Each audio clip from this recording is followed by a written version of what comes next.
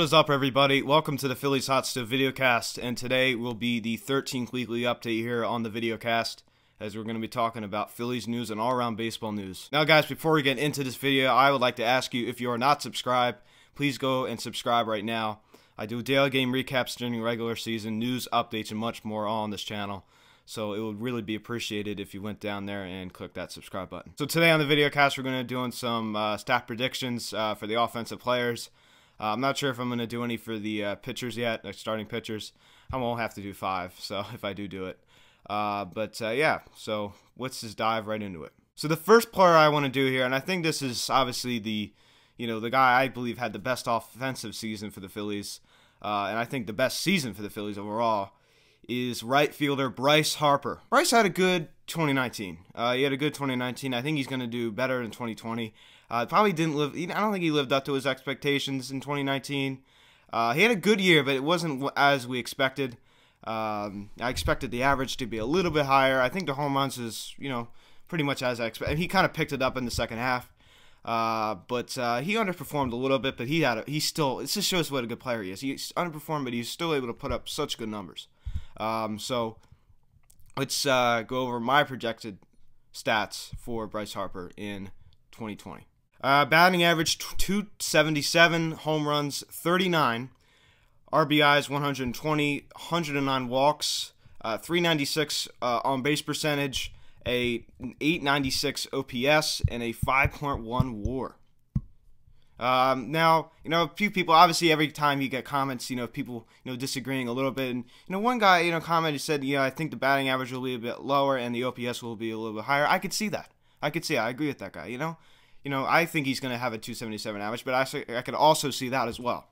Um, so um, I think he's just going to miss 40 home runs, but I think there's a possibility. I think there's a good possibility he will hit over 40. You know, 40, 41, uh, around that range, 39, 40, 41. The RBIs, I think, are going to be great. Uh, the walks, I think, are going to be a little bit higher than last year. Last year he had 99. I think he's going to get 10 more this year. Uh, I like the OBP, 396.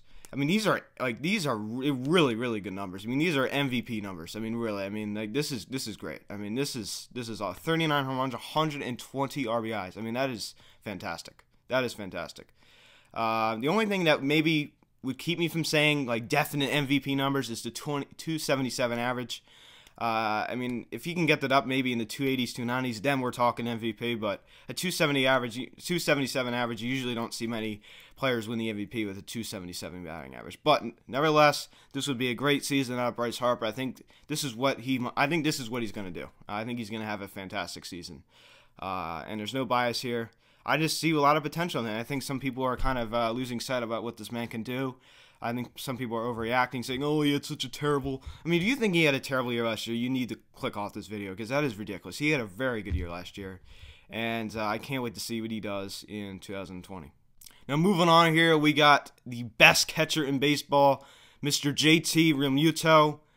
Um, he is he's the best catcher in baseball. There's no denying it. Uh, don't comment Grandal. I mean, that's that's stupid. Stop wasting my time.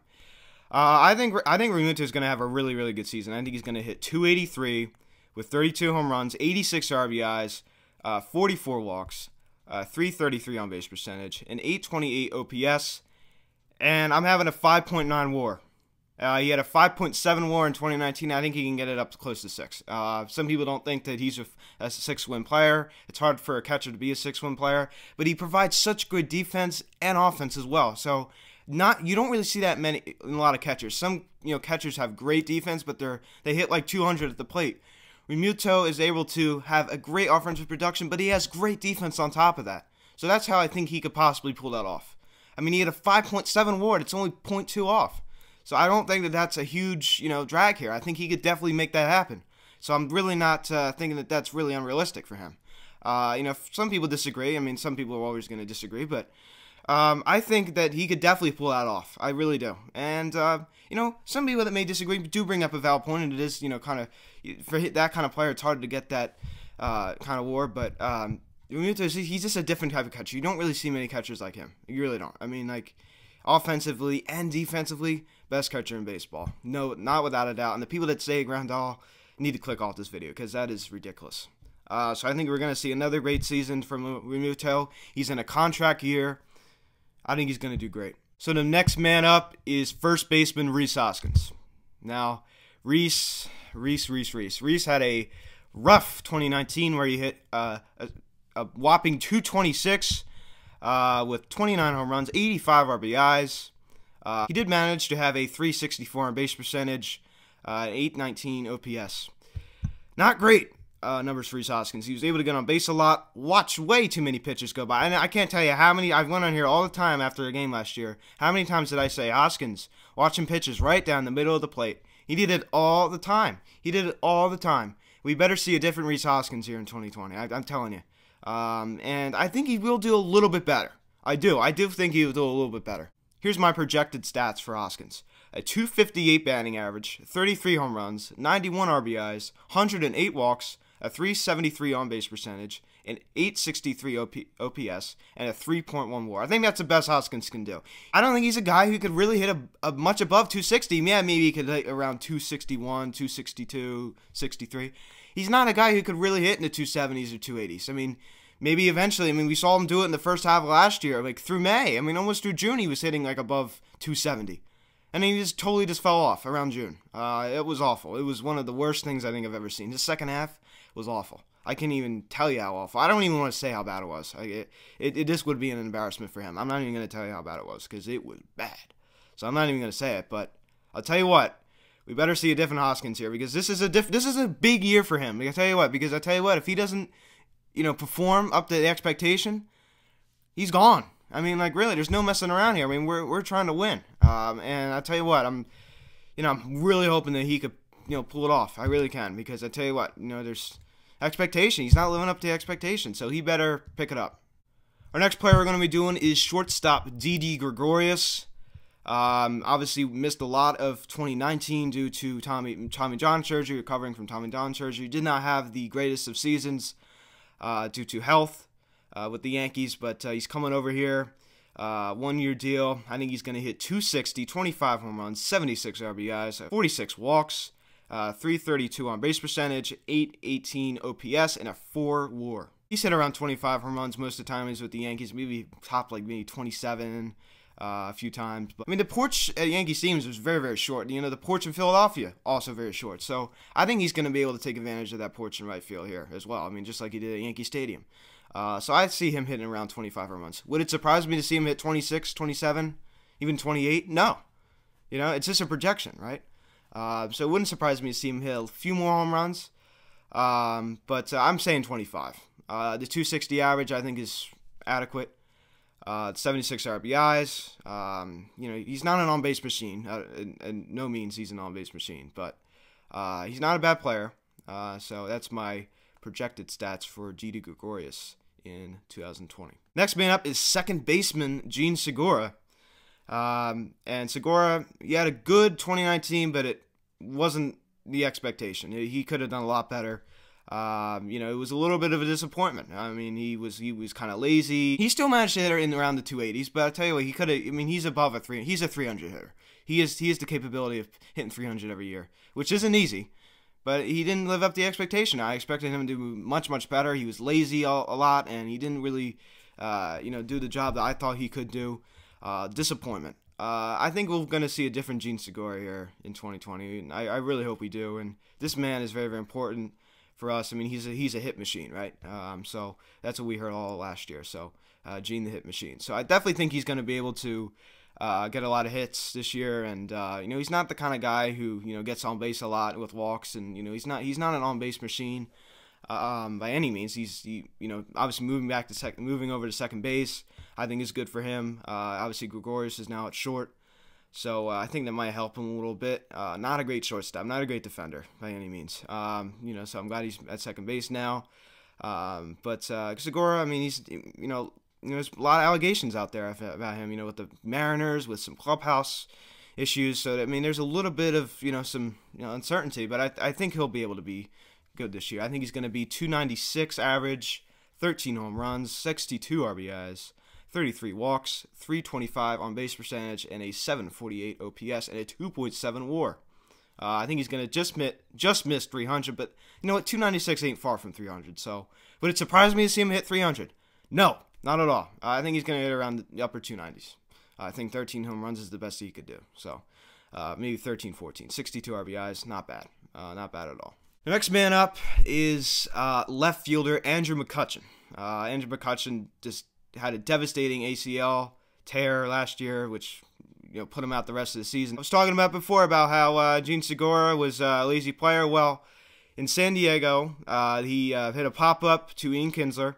Uh, the Ian Kinsler made a heads up play because he noticed that Segura wasn't uh, hustling. Then he let the ball drop in front of him and say no more. Uh, that was the end of that. Uh, that was a total disaster. McCutchen was just caught in between of it, and uh, that was it for him. So uh, I definitely think we're going to be seeing a uh, good Andrew McCutchen here in 2020. I think he's going to have a really good year. I think he's really just motivated to get out there and play. I think he's upset. Obviously, anybody would be upset. I mean, if you're out for the rest of the year, that's frustrating. Uh, so I definitely think we're going to be seeing a different Andrew McCutchen here. Um, I mean, he's a great player. He really is. I, I, really, really like him a lot, and I think he's a great person. So I think he's going to hit 257, 26 home runs, 67 RBIs because he is a leadoff hitter. 96, 96 walks, uh, 374 on base percentage, a 837 OPS, and a 2.1 WAR. Um, their RBIs, as I said, are a little low because he is a leadoff hitter. Uh, he's an on-base machine. I mean, he was an all. I mean, he's on track to be an all-star. I mean, he was great. I mean, he's great. 257 average. Uh, what do you expect? He's he, he hasn't really hit above 250 the past few years, so I definitely think he's going to hit you know around 257. That's my bet. That's my guess. Which is still very good because you know in the modern day, you know people care more about you know the on base and everything. So, you know batting average isn't as important as it used to be. Next up on the list is third baseman Scott Kingery he had a good 2019. Uh, kind of fell off towards the end. Got a little tired. Um, you know, his month of June was fantastic. Month of July was pretty good. Kind of fell off after the All Star break. Uh, not a ton, but he. I mean, he, his month of you know August and September were not very good. Um, but uh, kind of had he was injured. He, was injured at the beginning. You know, had some issues. Uh, um, but I, I think he's. I think he had a solid year last year. I think he's. This is what I think he's going to do this year. I think I mean, he's going to have a 271 average. 21 home runs, 68 RBIs, 41 walks, a 802 on base percentage, a 796 OPS, and a 2.9 WAR. I think that's what uh, Scott's going to do for the Phillies this year.